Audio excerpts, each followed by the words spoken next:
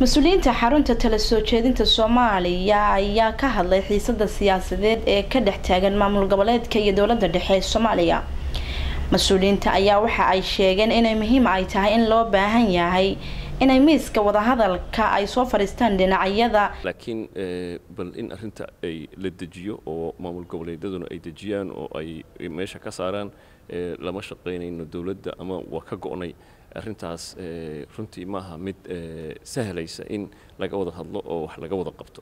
Waxaan marka aan xarun ahaan annaku aan aaminsannahay in laga wada hadli karo oo maaragtay la dhexgeli karo arrintaas xarun ahaanna waxaan diyaar u nahay in aan dhex galno oo aan la kulanno maamul goboleedyada isla markaasina dowladda aan la kulanno oo meel dhexe la isugu yimaado. Intii ay ajaanib ama dalal maxaan ku idhaha daris ah amaba u n iyo wixii la midka ay arrintaas soo geli lahaayeen in si soomaalinimo ah loo dhammeeyo oo laga wada hadlo cabashooyinka. Runtii waa muhiim in laga hadlo. Arrimo badanay ka hadleen maamulada waxaa ka mid ah security-ga ama amniga waxaa ka mid ah dastuurka waxaa ka mid ah waa qodobo dhammaantood muhiima waxaa ka mid ah doorashooyinka waxaasoo dhan iyadoo laga wada hadlayo waxay ku habboon tahay in aanan maaragtay laysu marin mediaha ama warbaahinta la wada fariisto lagana wada hadlo runtii waa ka xunnahay communikegaas qaabka macnaha u kala fogeeyey.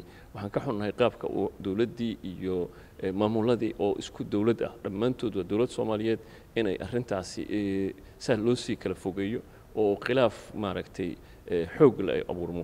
Arrintaas aadaan uga xunnahay. Haddii la isqabto waa la wada hadlaa. Marka waxaan ku talinaynaa in la wada hadlo oo inta waxgarada soomaaliya iyo inta soomaalinimada jecel inay u istaagto arrinkan sidii aan u daaweyn lahayn aan isu soo jiidno dowladdii iyo dowlad goboleedyadii sababtoo ah marna ma kala maarmayno.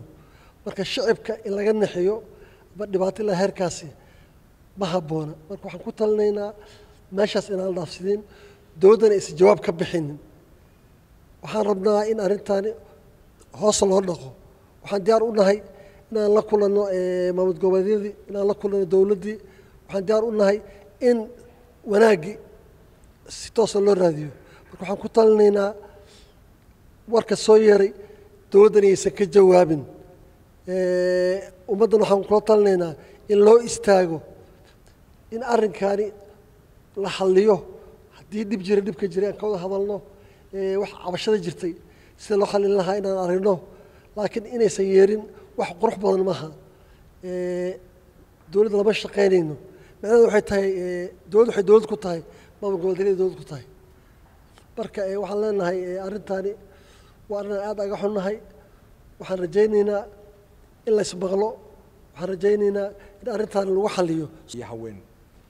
Marka waxaad moodaa in wixii oo curdin ah aqalka sare shaqadiisii wuu qaban karaa. Hadda wuxuu ku soo eegmay xilli aqalkii labada aqalba ay fasaxa ku jiraan. Ayaa ayaa shirkanu qabsoomay waana qaba anigu runaantii inay fiicnaan lahayd in labada qalba guddiyada shaqooyinka ku habboon ama iska leh inay shirka ay goobjoog ka ahaadaan ay tagaan ama taladooda ay ka bixiyaan. May dhicin. Marka waxaan qabaa anigu had iyo joor haddii ay leeyahay maxay u soo noqnoqonaysaa wixii waxa loo bahay dadku inay wada hadlaan. Wada runtii waxay fiicnaan lahayd wax walba hodda in ummadda soomaaliyeed ay dhammaystaan dowladda iyo maamul goboleedu ay dhammaystaan laakiin maanta meeshii ugu khatarsanayd ayay taagan tahay. Mar haddii la wada shaqayn ma wada yeelan karno. Marka yee aqalka sare matelaan xildhibaanadu yee matelaan marka waxay imaanaysaa matalaadan guud oo dhan miyaa shaki la gelinaya marka waxaa weeyaan nin walba dib ha isku noqdo waxaa halka lagu jooga caasimadda lagu jooga ummadda soomaaliyeed baa la wada matelaya waa in marka loo kacaa in haddii wax khaldameen in la daawado maaha annagu kolley haddaan xarunta tala soomaaliyeed waxaanu leenahay kaalintii nagaga aadan ayaanu qaadanaynaa oo ah inaan madaxweynaha ra'iisul wasaaraha iyo labada aqal inaanu aragno oo arrimaha jira aanu ka wareysanno ilaa inta ay qodan yihiin. Kadibna maaha inaanu telefoon aan keliya la fadhiisanay waxa noo qorshaysan aan dirtaba deg deg ku gaarnay inaan gobollada tagno